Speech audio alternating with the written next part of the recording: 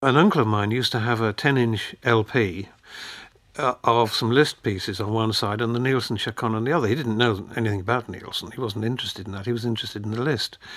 But I went and stayed with them and I kept playing this Nielsen piece. I was fascinated. Then I heard a talk by Anthony Hopkins on the radio in his series Talking About Music, which was about Nielsen's Fifth Symphony. And I then listened to that and I got absolutely hooked on Nielsen. I went and got a copy of the Chaconne and went to my piano teacher and said, Well, for my degree recital at university, I'd like to play this. Uh, and Gordon Green, my piano teacher, was a great piano teacher. Instead of saying, No, you must do something I know, which a lot of piano teachers would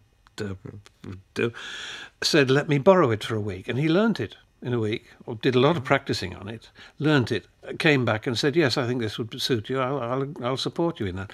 Well, then the university authorities didn't want it. They wanted a, a ten-minute romantic piece, and we said, "Well, what do you mean by that?" They said, "Well, Chopin scherzo or something like that."